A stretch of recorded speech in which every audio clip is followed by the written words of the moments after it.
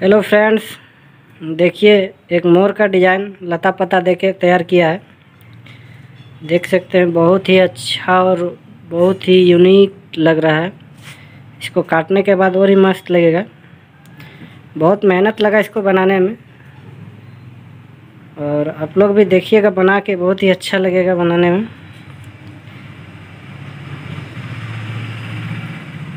देखिए। इस प्रकार मैंने ये लता पता दे के ये पीछे साइड जो पंख होता है उसका, उसके जगह मैंने लता पता का यूज़ किया है। देख सकते हैं। और कितना अच्छा लग रहा है, देख सकते हैं। बहुत ही अच्छा लग रहा है डिज़ाइन। कम से कम इसको 20-22 इंची के बोर्ड में काटना पड़ेगा।